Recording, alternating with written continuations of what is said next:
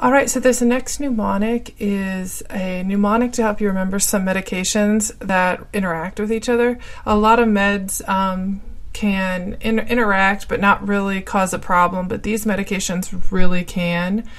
So the mnemonic is TDCI, standing for these drugs can interact. So that's pretty easy, pretty straightforward.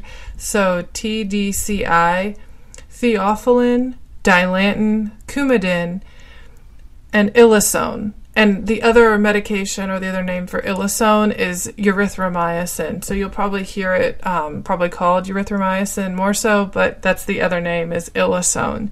So if coumadin and ilosone are taken together, it can increase the effects for Coumadin, which therefore increases your risk for bleeding. So you really want to pay attention to see if a patient is on both of those. The next one is Coumadin with Dilantin.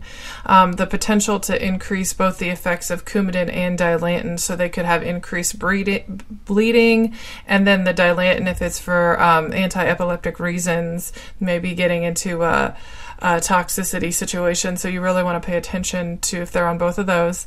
And then the theophylline and dilantin, if they're taken orally, they can interfere with the absorption of each other and actually decrease their medication effect. So that would be, um, you know, pretty big deal if those are uh, not being absorbed appropriately. So again, the mnemonic is TDCI, standing for these drugs can interact. Theophylline, dilantin, coumadin, and ilosone or erythromycin. This has been another episode of the Nursing Mnemonics podcast by NRSNG.com with your host, Katie Kleber, RN, CCRN. To grab all of our nursing cheat sheets, head over to NRSNG.com slash freebies. That's NRSNG.com slash freebies. Thank you so much for being here today. We love you guys. We thank you so much. We want to see you guys succeed. Listen, we're all in this together. Now go out and be your best self today. Happy nursing.